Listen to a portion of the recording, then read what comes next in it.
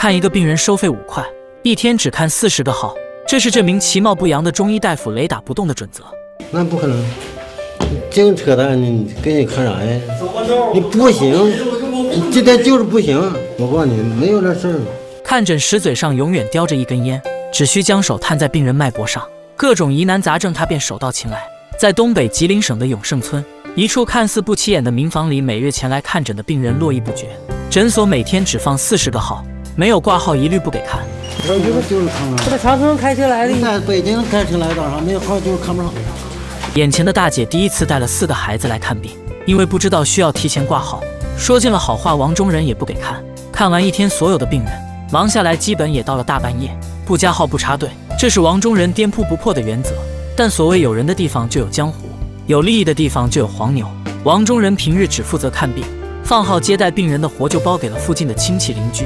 原本五块一人的挂号费，经一到手变成了二十块，顺带还可以做些小生意。离得远的病人还有专车可以接送。由于王中人的名气，村民们形成了从放号接送到住宿吃饭为一体的服务产业链。因为费用不贵，病人们也乐得方便。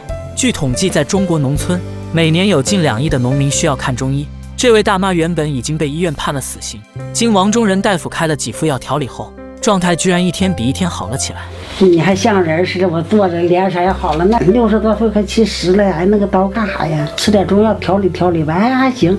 虽然往来的病人络绎不绝，但是王中仁的生活条件并没有因此而改善，仍然住着数十年的老平房，每日吃着粗茶淡饭。因为一号难求，病人时常会和黄牛发生争执。每到月中，亲戚们便聚到一起。开始安排着下个月的排号，这小小的排号竟是人性的彰显。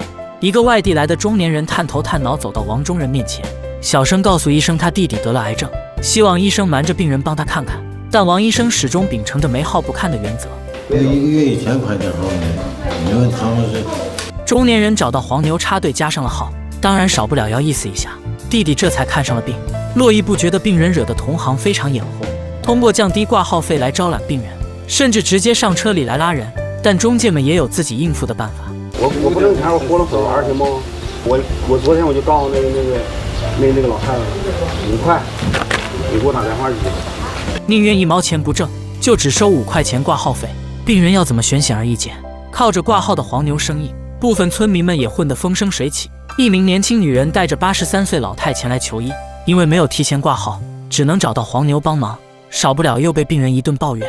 王中人看病很细心，每一个病人他都慢条斯理地了解清楚，只为能真正帮人解决病痛。四十多年的行医生涯，岁月将这个年轻小伙打磨成了双鬓斑白的老人。王中仁唯一的娱乐活动便是看新闻，一个平凡的老人偏偏最关注国家大事，挂号排号是唯一能给这平淡无奇的生活掀起的波澜。无论是逢年过节、晴天下雨，哪怕是翻修房屋，王中仁从未缺诊一天。